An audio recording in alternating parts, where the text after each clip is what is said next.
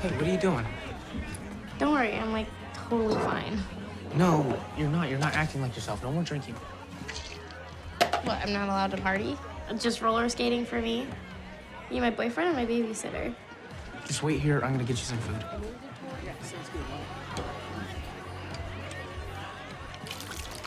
Maybe you should slow down.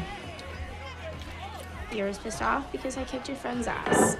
You can consider that payback for what you guys did to our dojo. I had nothing to do with that. And neither did Tori or Miguel. Why do you think Miguel returned Mr. Miyagi's medal? He didn't return it. Demetri found it in the dojo. No, Miguel took it to your house. He said he gave it to Robby.